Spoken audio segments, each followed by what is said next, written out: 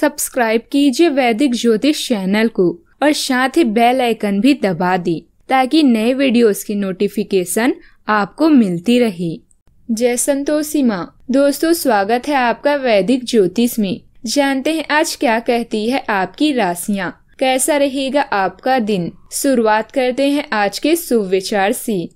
विचार कीजिए, जब हमारा जन्म हमारी मर्ज़ी से नहीं होता और मरण भी हमारी मर्ज़ी से नहीं होता।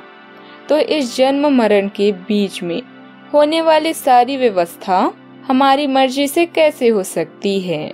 खुशी पैसे पर नहीं परिस्थितियों पर निर्भर करती है। एक बच्चा गुब्बारा खरीद कर खुश था तो दूसरा उसे बेचकर और तीसरा उसे फोड़कर। लोग बुराई करे और आप दुखी हो जाएँ, लोग तारीफ़ करें और आप खुश हो जाएँ।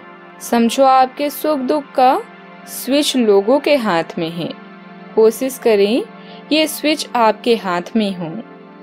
आज का पंचांग 26 मई 2021 दिन बुधवार, बैसाख मास के शुक्ल पक्ष के, पूर्णिमा तिथि सम चार बजकर तिरालीस मिनट तक रहेगी। इसके उपरांत प्रतिपदा तिथि प्रारंभ हो जाएगी। अनुराधा नामक नक्षत्र रात्रि एक बजकर पंद्रह मिनट तक रहेगी। इसके उपरांत ज्येष्ठा नामक नक्षत्र प्रारंभ हो जाएगी। आज का राहु काल, अर्थात दिन का सबसे अशुभ समय, दोपहर बारह बजकर चौबीस मिनट से दो बजकर तीन मिनट तक रहेगा। आज का कोई अभिजीत मुहूर्त नहीं है। आज चंद्रमा वृश्चिक राशि पर संचार करेगी और आज सूर्य वृषभ राशि पर रहेंगे। कन्या राशि 26 मई 2021 दिन बुधवार। अच्छा आपकी भावनाओं में बहने की उम्मीद थोड़ी ज़्यादा है। किसी छोटे से बात पर भी आप उदास हो जाएँगे या पुराने बेहतर समय को याद करने लगेंगे। किसी पुराने दोस्त से संपर्क साधने की कोशिश कर सकते हैं। आज आप अपनी वर्तमान समस्या को सुलझाने के लिए कोई संतोषजनक समाधान खोजने या किसी की तरफ़ दोस्ती का हाथ बढ़ाने के मूड में हैं। घर की किसी समस्या को सुलझाने में आपका प्रयास सफल रहेगा। तथा अधिकतर समय घर परिवार की व्यवस्था देख रेख में ही व्यतीत होगा। विद्यार्थियों को अपने किसी प्रोजेक्ट में सफलता मिलने से खुशी भी रहेगी। जिस विषय की वजह से मन में काफ़ी बेचैनी चल रही थी, वह कम होगी और आप योग्य निर्णय पर पहुँच पाएँगे। इस निर्णय के कारण जीवन संबंधित कुछ विचारों में बड़ा बदलाव नज़र आएगा और आपके लक्ष्य में भी आप बहुत हद तक बदलाव करेंगे। निर्णय गलत रहने का थोड़ा डर हो सकता है, लेकिन निर्णय आपके पक्ष में ही होगा। काम संबंधित जिम्मेदारियाँ कम होने के कारण नए काम पर आप ध्यान दे पाएँगे। पार्टनर और आप मिलकर एक दूसरे को योग्य निर्णय तक पहुँचने के लिए सहयोग देंगे। शुगर की तकलीफ़ हो सकती है, खास करके जो ब्लड शुगर के लोग हैं उन लोगों को। सावधानियाँ। यह समय बहुत ही सकारात्मकता से व्यतीत करने का है। इस समय व्यर्थ की बातों में न उलझकर रचनात्मक कार्यों में व्यस्त रहेंगे।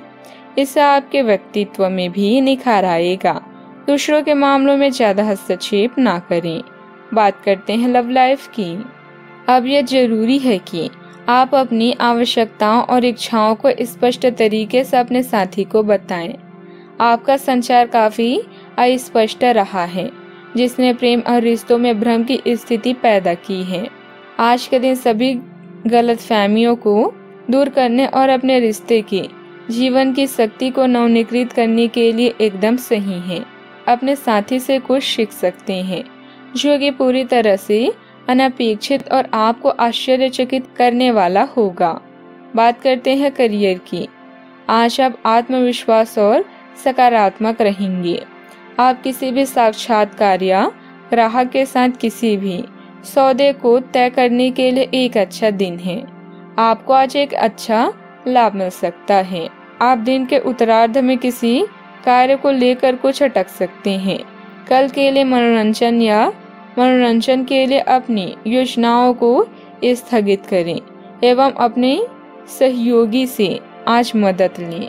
व्यवसाय में पार्टनर तथा सहयोगियों की सलाह पर भी ज़रूर ध्यान दें। इससे व्यवस्था उचित बनी रहेगी। संपर्क सूत्रों के माध्यम उचित ऑर्डर मिल सकते हैं। किसी डील को फाइनल करने का आपका प्रयास भी सफल रहेगा। पब्लिक सेक्टर में काम करने वालों को उन्नति का अवसर भी मिल सकता है।